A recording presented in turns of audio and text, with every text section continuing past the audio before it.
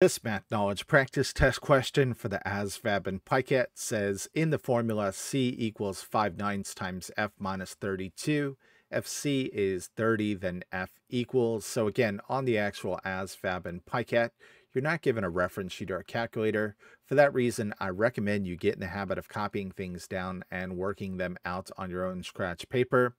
Now to get started, I'm simply going to copy down this formula. And what's more, we know that according to the problem, C is going to be 30. So the next thing I'm going to do is plug in 30 for C. This becomes 30 equals 5 ninths times F minus 32.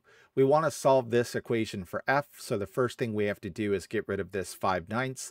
And to do that, we're going to multiply both sides of this equation by the reciprocal of 5 ninths, notably by 9 over 5.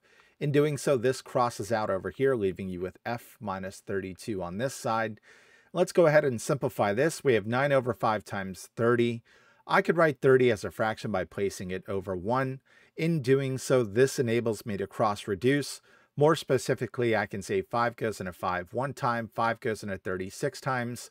This is 9 over 1, which is 9, times 6 over 1, which is 6. 9 times 6 is 54. So this becomes 54 equals f minus 32.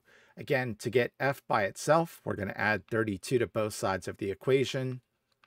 In doing so, this crosses out, leaving me with f over here.